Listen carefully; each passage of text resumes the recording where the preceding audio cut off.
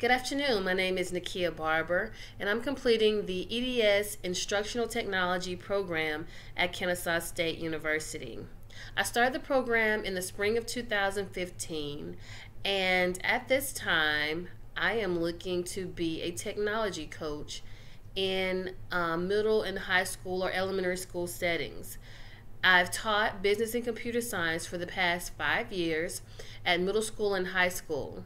I'm currently teaching at Conyers Middle School, um, which is in Rockdale County. It's one of the four schools in the county. Prior to teaching at Rockdale, in Rockdale, I also taught in Savannah at Islands High School, where I taught Entrepreneurial Ventures, Computer Applications 1, and Computer Applications 2.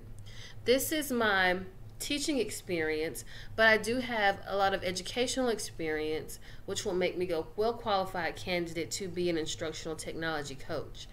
I received my bachelor's degree at Valdosta State University in business education, and I'm a certified business ed teacher.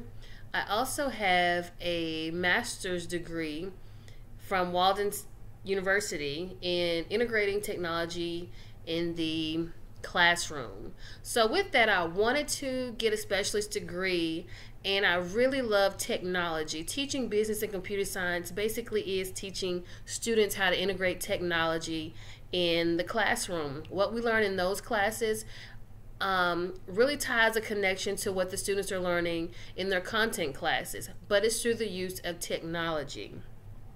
A lot of the teachers that I know personally fear the use of t- using technology. So I think that a great coach, a technology coach, helps a teacher understand the benefits of technology and how their classroom and their students can actually use technology to further learn and comprehend standards that are taught in their classroom. So this course has taught me several things using multimedia, not just the things that I've originally taught, but using um, Web 2.0 tools to get students involved in the classroom. I've learned how to create web quests. One of the biggest classes that I think will be um, very great for me is learning how to be a coach, coaching teachers on how to use technology in the classroom.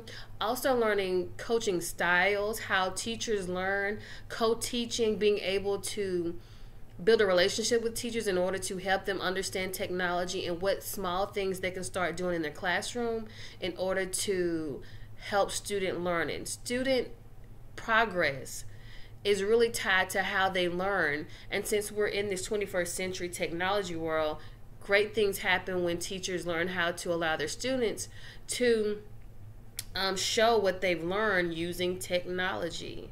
So the course itself in this program at Kennesaw State University um, has really taught me how to do research on different types of technology, how to stay up with current trends um, in technology, things that are great, things that aren't. And I'm able to do that by reading articles from other teachers that have tried to do these same things in their classroom. Um, there's so many articles online that will help teachers understand simple things that they can use in their classroom in order to allow students to grow technology, one to one devices is going to help students be able to understand.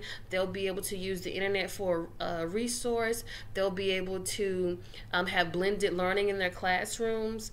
And these things will also help the teacher because the teacher then can learn to differentiate. You can uh, assist ELL students. You can um, also work out the diversity of your kids and help them be able to process their learning. So, some of the goals that um, I've gotten to at the end of this program will be continue my learning continue to go into workshops. That will be a short-term goal. We'll continue to learn um, go to workshops. A long-term goal would be to continue um, understanding technology learning about new technology that is coming out um, looking at pilot models of other schools that have um, created different things online so that teachers can see these these projects and want to include more technology in their classrooms.